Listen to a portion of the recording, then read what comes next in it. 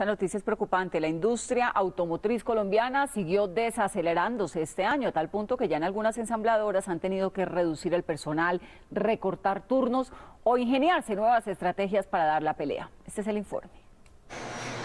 Las cifras de la industria automotriz muestran que mientras en el año 2011 se vendieron en Colombia 353 mil unidades y el año pasado 315 mil, este año no llegarán sino a 295 mil unidades. Y para comprar carro, que es un bien importante, eh, siempre la confianza es fundamental. La otra es que el año pasado y antepasado hubo un aumento en las tasas de interés. Un problema peor es que la participación de los vehículos importados en el mercado nacional ha subido en 13 años del 55 al 70%, resultado de la apertura comercial. El impacto fundamental en temas de TLC se llama México.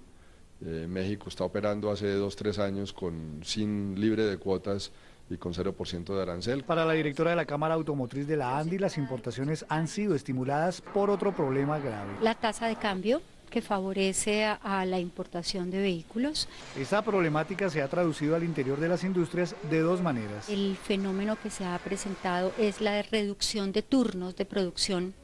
Eh, eh, pasando de tres turnos a dos turnos o a un turno. La crisis ha golpeado también las plantas de personal. Solo aquí en Colmotores en abril de este año debieron despedir a más de 400 trabajadores. La industria está esperando un decreto prometido por el gobierno hace más de siete meses. Que reduciría a 0% de arancel las materias primas y los insumos no producidos. Actualmente Colombia consume el mismo volumen de vehículos que Bolivia o Paraguay y solo una tercera parte o menos que los consumidores en Argentina, Brasil, Chile, Perú y Ecuador.